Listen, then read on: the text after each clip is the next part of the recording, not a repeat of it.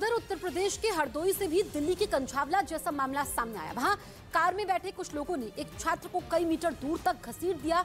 यह हादसा उस वक्त हुआ जब वो कोचिंग सेंटर से लौट रहा था। तभी वो उस कार की चपेट में आ गया। इस घटना का जो वीडियो सामने आया, उसमें सड़क से कई मोटरसाइकिलें गुजरती दिखाई दी।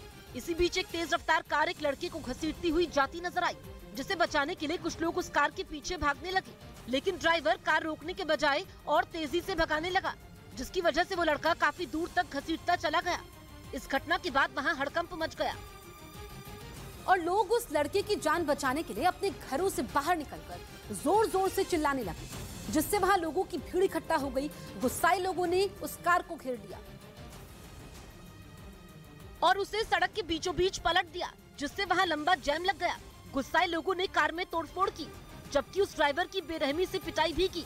घटना की जानकारी मिलने के तुरंत बाद पुलिस के कई जवान पहुँच गए, जिन्होंने मामला शांत करवाने की कोशिश की, लेकिन गुस्साई भीड़ ने जमकर हंगामा किया। हालाँकि किसी तरह पुलिस के जवानों ने लोगों को समझाकर मामले को शांत करवाया और उस ड्राइवर को बचाकर मोटरसाइकिल पर बैठाकर ले गए, जबकि वहाँ कुछ पुलिस कर्मियों ने सड़क के बीचों बीच पलटी कार को लोगों की मदद से सीधा कर रास्ते को खाली करवाया।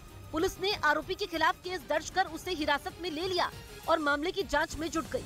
कार का चालक है उसको हिरासत में लिया गया है उसके खिलाफ विधि कार्रवाई की जाएगी। इस हादसे में वो लड़का बुरी तरीके से घायल हो गया जिसे अस्पताल में भर्ती करवाया गया जहाँ उसका इलाज चल रहा है। पैर मेरा फंस गया और वो खींचते खींचते ले आया। वहीं पुलिस के आला अधिकारी अस्पताल पहुँच गए जहाँ उन्होंने इस घटना पर उस लड़के से भी पूछताछ की। इस बीच मेक्सिको में दुनिया के सबसे बड़े ड्रग्स तस्कर माने जाने वाले एल चापो के बेटे की गिरफ्तारी के बाद बवाल मच गया। मेक्सिको के कुलियाकंड में इसके गिरोह के लोगों ने आतंक फैलाने के इरादे से बंदूकें थाम ली। जिसके बाद मेक्सिको की सड़कों पर माफिया राज दिखाई दिया। वहाँ से आए एक वीडियो में तो एक बदमाश हवा में उड़ते एक प्लेन पर गोलियाँ बरसाता नज़र आया।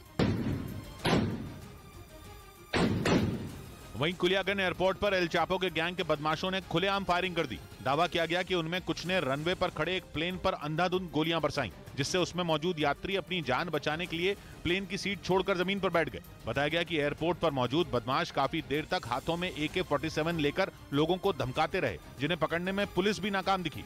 और ये सब हुआ ड्रग तस्कर ओविदियो की गिरफ्तारी के बाद। आरोप है कि ओविदियो ड्रग्स की तस्करी के साथ ही मेक्सिको में अपराधियों का एक बहुत बड़ा गिरोह भी चलाता था। और यही वजह थी कि अपने मुखिया के गिरफ़्तार होते ही उसके संगठन से जुड़े बदमाश सड़कों पर उतर आए। यहाँ तक कि छोटे छोटे बच्चों को भी ए के फोर्टी सेवन से लैस कर दिया गया। जिसके बाद मैक्सिको के कुलियाकन शहर में इतना तनाव बढ़ गया कि सेना को मोर्चा संभालना पड़ गया। और सेना के जवानों के सामने ही विद्रोहियों ने कई गाड़ियों को आग के हवाले कर दिया। वही एयरपोर्ट पर तो ये बवाल कई घंटों तक नहीं थमा। रनवे के आसपास मौजूद लोगों ने वहाँ आने वाली हर फ़्लाइट पर गोलीबारी होने का दावा किया। जानकारी के मुताबिक ओविदियो की गिरफ्तारी 2018 में ड्रग तस्करी से जुड़े एक मामले की वजह से हुई थी। इधर मध्य प्रदेश के नीमच में पुलिस पर फायरिंग करने वाले तस्करी के एक आरोपी के अवैध घर को बुलडोजर से गिरा दिया गया।